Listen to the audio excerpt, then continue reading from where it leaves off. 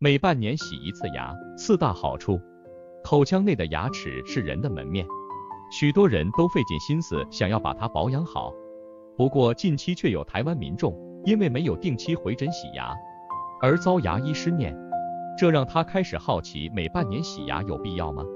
贴文引起广泛讨论，专业牙医师揭露四大好处。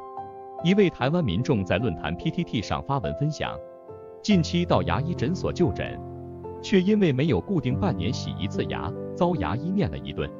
这让他觉得牙医是因为工作缘故，才以为每个人都会乖乖去洗牙，觉得这件事恐怕没有这么普遍，因此好奇向大众发问：你们都会半年洗牙吗？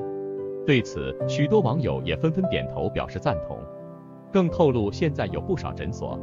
都会定期打电话传讯息给患者，提醒洗牙时间已到，且洗一次牙费用不高，还能顺便检查有无蛀牙，且装一颗牙相当昂贵。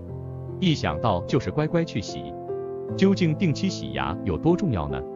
台湾刘富轩医师在脸书上盘点出四大好处：一、预防牙龈疾病，牙结石和牙菌斑是导致牙龈疾病的主要原因。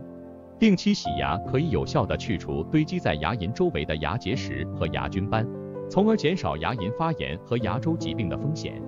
二、防止蛀牙。即使你有良好的口腔卫生习惯，牙齿上仍可能有难以清洁到的部位，例如牙齿间的缝隙或牙龈线下的区域。定期洗牙可以清除这些难以触及的区域的累积物，降低蛀牙的风险。三、改善口气和牙齿颜色。牙结石和牙菌斑的积聚可能导致口腔异味，通过定期洗牙可以去除这些累积物，改善口气，也可以去除牙齿表面的色素。